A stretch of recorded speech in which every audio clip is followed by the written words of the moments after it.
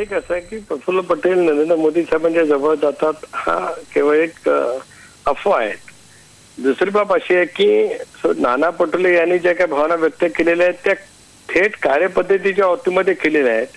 त्यांना वेगवेगळ्या बैठकींच्या मध्ये जे अनुभव आले त्याच्याबद्दलचं वक्तव्य त्यांनी त्या ठिकाणी केलेलं आहे. प्रफुल्लबाईंचे आणि माननीय पंतप्रधान महोदयांचे संबंध निकटचे किंवा प्रफुल्लबाईंचे आणि मुख्यमंत्र्यांचे संबंध कुठे जवळचे याचा त्याच्याशी दुरान्वय संबंध आहे असं दिसत नाही. याचं कारण ज्या पद्धतीने दोन तीन बैठकांचा उल्लेख नाना पटोले यांनी केलाय जे आपल्या वाहिन्यांच्या वरती दाखवलं जाते वेगवेगळ्या वर्तमानपत्रामध्ये सुद्धा. त्याचा हवाला देऊन आज ज्या काही बातम्या आलेल्या त्याच्यावरून असं स्पष्ट दिसत आहे की नेतृत्वाच्याच कार्यपद्धतीच्या बाबतीमध्ये एक तऱ्हेची प्रचंड पद्धतीची नाराजी त्यांनी त्यांच्या वक्तव्यातून त्या ठिकाणी व्यक्त केलेली आहे.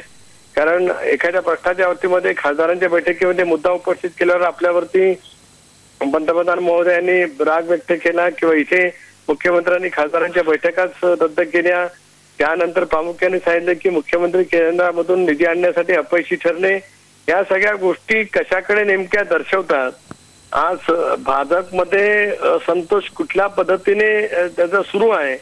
मला असं वाटतं ती एक तऱ्हेची सुरुवात असं म्हटलं तर काही चुकीचं ठरू शकणार नाही. एवढं बोलण्याचं धाडस भारतीय जनता पक्षाचा खासदार अलीकडच्या कालावधीमध्ये करताना कधी पाहायला मिळू शकला नाही.